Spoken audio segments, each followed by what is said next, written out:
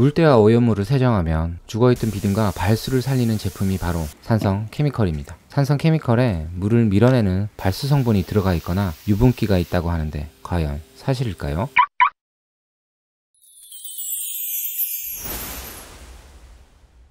안녕하세요 라이너스입니다. 유막 제거를 하고 알칼리, 산성, 중성으로 3pH 세차를 하고 난 뒤에 다시 유막 제거를 할 정도로 유분기가 많이 남아있던 경험을 해보신 적 있으신가요? 유막 제거한 유리와 만나면 잔여물이 남는 이유가 바로 산성 성분의 케미컬이 원인이었습니다.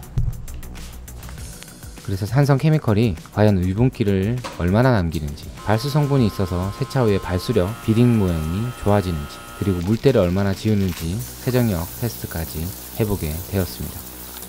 산성 제품은 약한 물때와 스케일 같은 광물, 심전물, 중성이나 알카리로 제거하기 어려운 특정 오염물을 제거하는데 효과적일 수 있다고 알려져 있습니다. 중성으로만 하는 세차가 조금 더 강한 알카리 제품으로 세정하다 이젠 산성까지 사용하여 다양한 조건의 오염을 완벽하게 세정하는 게 요즘 세차하는 유행이기도 합니다. 반면에 산성 제품을 사용하고 아무리 깨끗하게 고압수로 린스를 한다 해도 미세하게 남는 케미컬이 누적이 되어서 차량 부품에 부식이 일으킬 수 있다고 사용을 꺼려 하시는 분도 계시기도 합니다. 개인마다 세차 프로세스가 다양하지만 제 개인적으로는 유막 제거를 하고 본 세차를 하던 스타일이라 오랜만에 세차를 하거나 관리 안 한 차량들을 세차할 땐 분명 3pH 세차와 함께 유막 제거도 하게 될 가능성이 높습니다. 세차 순서를 유막 제거를 하고 도장면, 주변에 튄 유막 제거제를 지울 생각으로 본 세차를 뒤에 하게 되면 유분기를 남는지 차량 뒷유리에 테스트를 해봤습니다. pre-wash부터 car shampoo, water spot 제거제 3가지 유형의 산성 chemical 총 12가지 제품으로 테스트를 시작했습니다.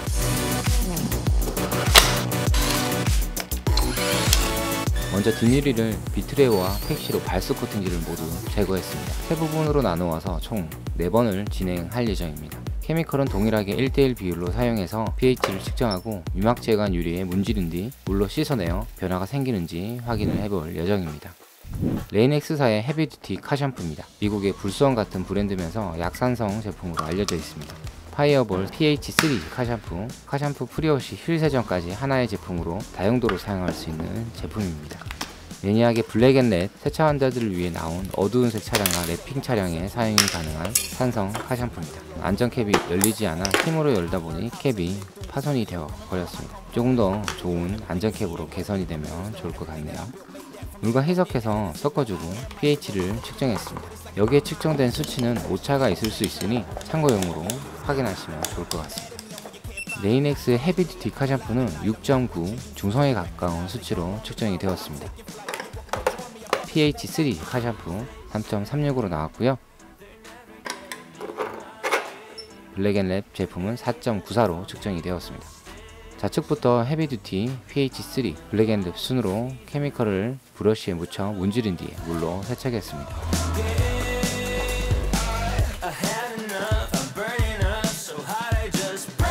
브러쉬는 사용 후에 충분히 물로 헹군 뒤에 다른 chemical을 사용했습니다. 역시 제가 경험했던 결과가 그대로 나왔습니다. 매니악의 블랙앤랩 car shampoo를 사용한 유리에는 유분기가 남아있습니다. 업체 측에서는 유분기라기보다 계면 활성제의 잔여물이라고 했습니다. 그래서 잔여물이라고 표현하도록 하겠습니다. drying 타올로 물기를 제거하고 유리 세정적으로 닦은 뒤에 다시 린스를 해봤습니다.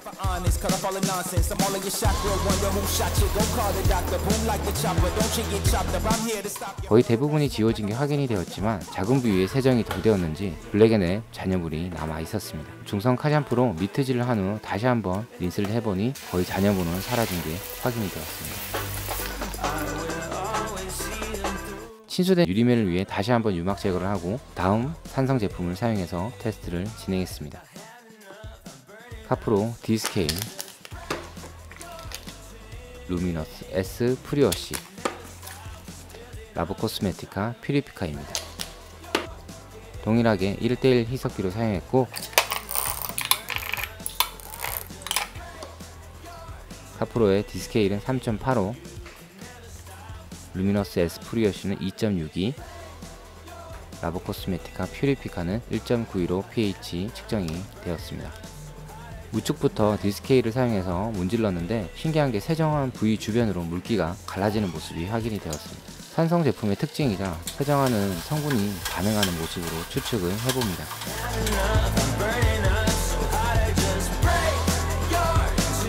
중간 부분에 S 프리엇이 좌측 부분은 퓨리피카로 세정했습니다.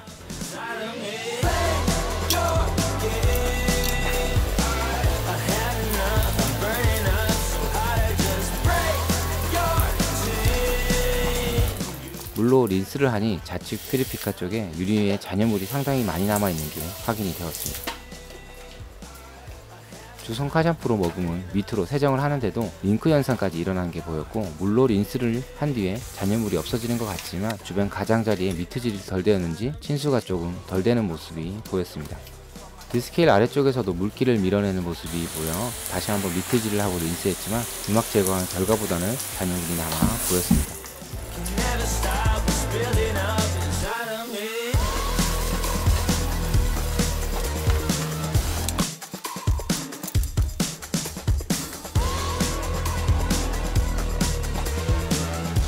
또 한 번 유막 제거를 하고 다음 제품으로 테스트를 이어 진행했습니다. 센샤의 스케일 클린 TAC 택시폰 함던의 딥블루시 제품입니다.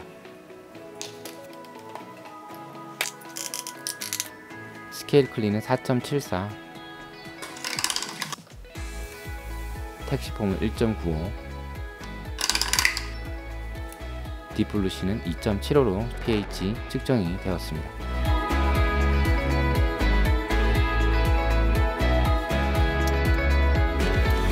유막 제거를 하고 산성 제품으로 물기 있는 유리를 세정하게 되면 물기를 밀어내는 모습이 공통적으로 확인이 되었고 택시폼 사용 시 현상이 더 도드라져 보였습니다. 확실히 주변으로 번지는 현상이 많은 제품들이 유리에 잔여물이 남는 것 같았습니다.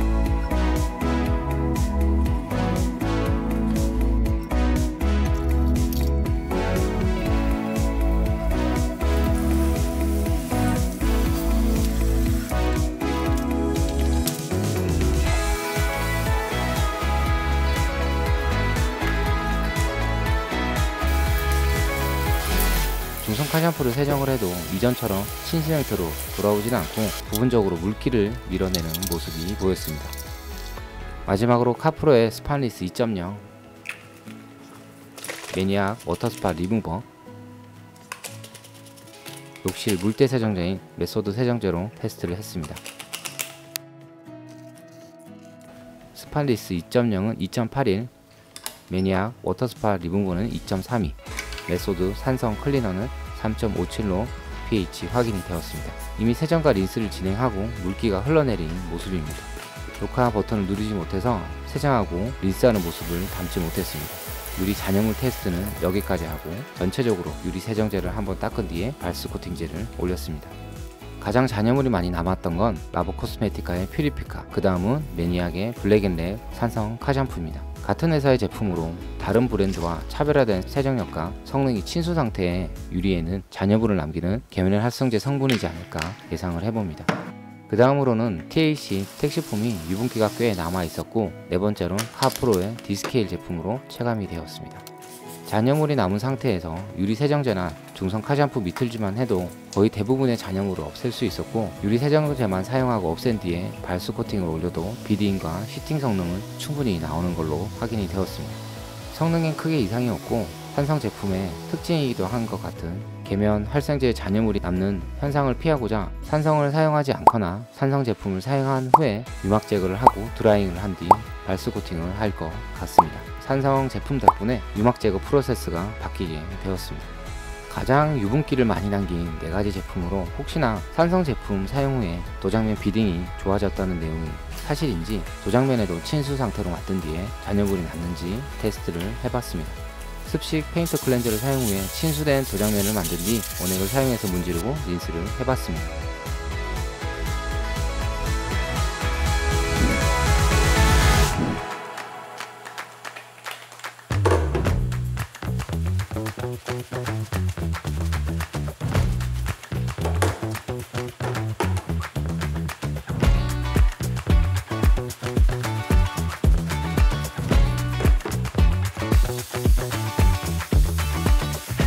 신수 유리에서만큼의 유분기는 보이지 않았고 여전히 신수된 모습을 확인했습니다. 산성 제품의 잔여물은 도장면에 아무런 영향이 없이 세장만 되는 모습이고 신수된 유리면에만 잔여물을 남기는 현상이라고 결론을 짓게 되었습니다. 이번엔 산성 제품들이요 세정력이 어느 정도인지 도장면에 물때 오염물은 아니지만 집에서 사용하는 싱크, 건조대의 받침으로 테스트를 해보려고 합니다. 매일매일 식기를 헹구고 남은 물기가 그대로 떨어져 마른 자국을 1년 넘게 모아왔습니다. 마스킹 테이프로 12개 구역을 구분해서 1대1로 희석한 제품을 브러쉬로 부분 부분 세정을 해봤습니다. 기계로 하는 것이 아닌 직접 손으로 문지르다 보니 일정한 힘으로 세정할 수 없는 점을 참고하시면서 세정력 차이를 봐주시면 좋겠습니다. 유리면에 테스트하고 남은 케미컬을 브러쉬에 묻혀 문지르는 방식으로 진행했고 사용하고 난 브러쉬는 충분히 물에 헹궈서 다음 케미컬을 사용했습니다. 세 개씩 세정해도 육안으로 큰 차이가 나지 않아 전체적으로 세정한 뒤에 차이점을 확인해 보겠습니다.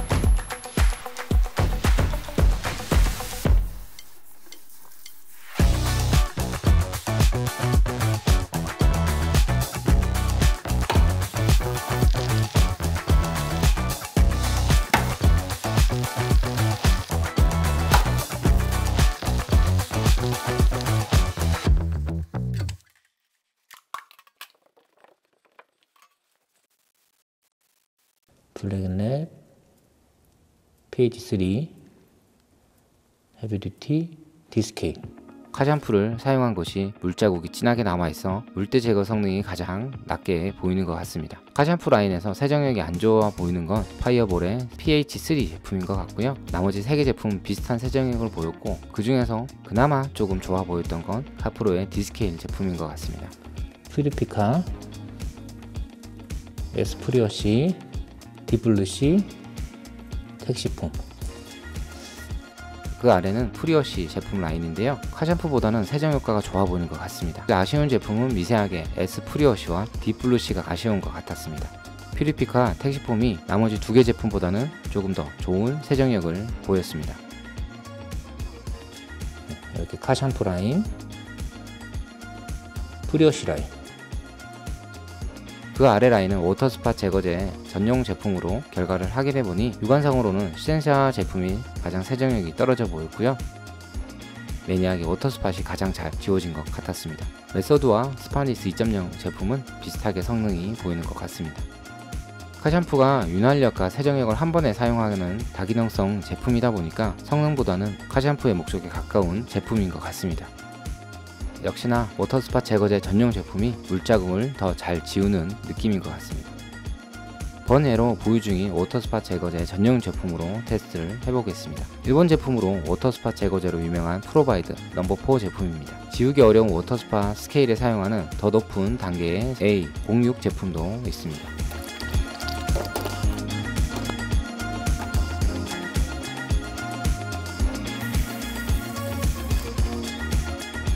사용하기 전 자국보다는 세정이 더 잘 된 모습을 보였습니다. 엄청난 세정력을 보이는 것 같지는 않았지만 카샴푸 세정력보다는 확실히 좋아 보였습니다. 테스트가 끝나고 식기 건조대를 다시 주방에 갖다 줘야 하는데 아직도 지저분한 모습이라서 깨끗하게 돌려주기 위해 유막 제거제로 복원을 해봤습니다.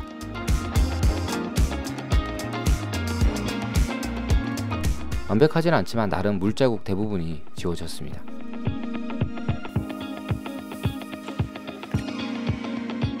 나머지 반은 식기 건조대가 스테인레스 재질이라서 크롬 광택제로 지워봤습니다. 비트레오 제형보다 조금 묽어서 그런지 주변으로 많이 튀면서 연마로 인해 검은색 잔여물이 가루처럼 묻어 나왔습니다. 잔여물이 묻은 스펀지 패드가 검게 물이 들어 air gun으로도 없어지지가 않아서 사용 후에 바로 폐기했습니다.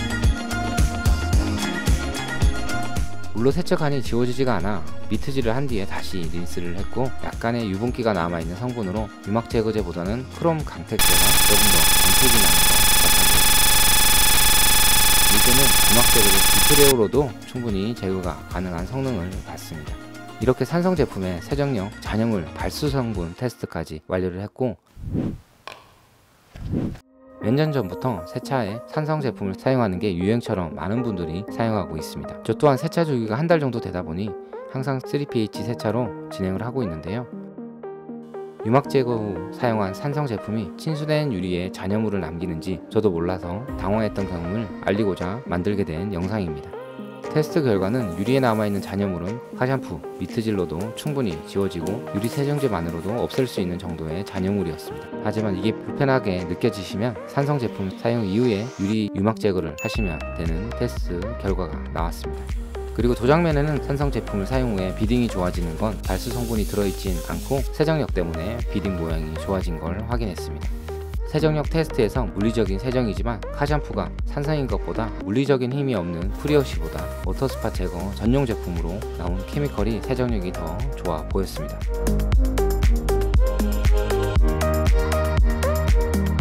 세차 주기가 긴 편이 저 또한 애용하는 세차 프로세스이기도 합니다. 올바른 상세 안내에 따라 권장 희석비와 권장 사용법으로 사용하시면 보다 안전하게 산성 제품을 사용하시면 좋을 것 같습니다. 이렇게 산성 제품을 사용해도 지워지지 않는 물때 water spot 자국은 polishing 작업이나 페인트 클렌저로 해야 한다는 점 잊지 마시고요. water spo, water spot이 생기지 않게 꾸준히 관리하는 게 제일 좋습니다. 오늘 영상은 여기까지고요. 다음 영상에서 뵙겠습니다. 감사합니다.